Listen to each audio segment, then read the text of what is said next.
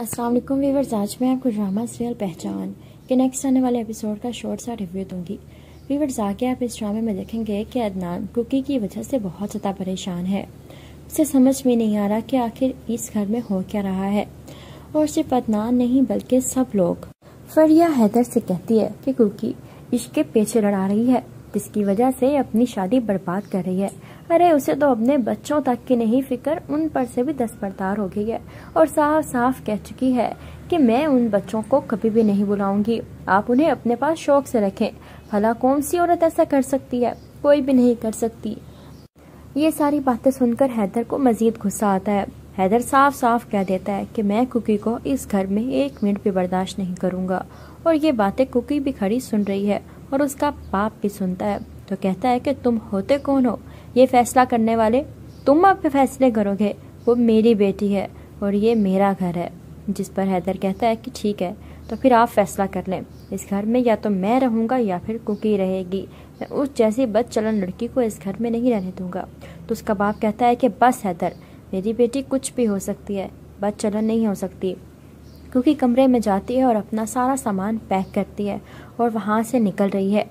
तो उसके माँ बाप पूछते हैं कि कहाँ जा रही हो? किधर जाओगी तुम? जिस पर कुकी कहती है कि कहीं भी चली जाऊँगी, सफीना की तरफ़ चली जाऊँगी। ये सुनकर उन सबका मुँह खुला का खुला रह जाता है। उन्हें सब समझ आ जाता है कि आखिर ये सब कुछ क्या हो रहा है और कुकी वहाँ से निकल जाती है। आगे जाती है सफीना के घर, दरवाज़ा बजाती है। तो सफीना दरवाज़ा खोलती है और कुकी को देखकर हैरान रह जाती है, क्योंकि अपना सामान लेकर घर के अंदर दाखिल होती है और जाकर बैठती है और कहती है कि क्या मैं आपके पास रह सकती हूँ? क्या आपके घर में मुझे एक कमरा मिल सकता है? मेरे पास और कोई ठिकाना नहीं है। ये सुनकर वो कहती हैं कि हाँ बिल्कुल तुम यहाँ पर रह सकती हो। वो कुकी को अपनी सारी कहानी बता रही हैं कि कैसे उसके बाप ने उसके साथ इतना बड़ा जुल्म किया। कहती है कि उन्होंने मेरे पर काट दिए। उन्होंने मुझे कहीं का नहीं छोड़ा, क्योंकि मेरे साथ बहुत गलत हुआ है। दूसरी तरफ़ कुकी की माँ और बाप, जो कि सारी कहानी समझ चुके हैं, अब उसकी माँ अपने शोहर से कहती है कि कुकी, सफीना की बातों में आकर अपना घर बर्बाद कर रही है। कुछ करें आप, कुछ करें। दूसरी तरफ़ दिखाया जाता है कि जब बच्चों को पता चलता है कि उनकी माँ ने साफ़ साफ़ कह दिया है कि ठीक है, बच्चे आप रखें, मुझे बच्चों की भी ज़रूरत नहीं है तो वो बहुत बुरे हाल में है। फ़हाद बहुत बुरे तरीके से रोता है और फ़हाद की हालत बहुत ज़्यादा बिगड़ जाती है। अब समझ नहीं आ रही हमना को कि वो क्या करे। वो अपने बाप को फ़ोन करती है और बताती है कि फ़हाद की हालत ठीक नहीं है। मुझे समझ में नहीं आ रही कि मैं क्या करूँ। इधर से अपनी माँ को कॉल कर रही है, लेकिन वो कॉल ही नहीं उठा रही। वो मैसेज छोड़ देती है कि फ़हाद मर जाएगा। ऐसा मत करें, उसकी हालत बिल्कुल भी ठीक नहीं है।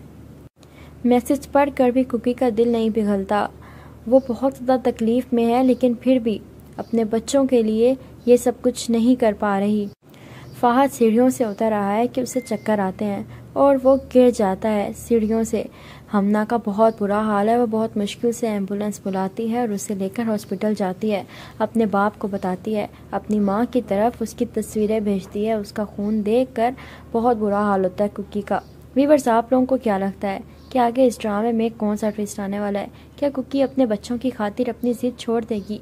या फिर वो सफीना के लिए जो ये सब कुछ कर रही है, उसे इज़्ज़त दिला पाएगी, उसे हक दिला पाएगी।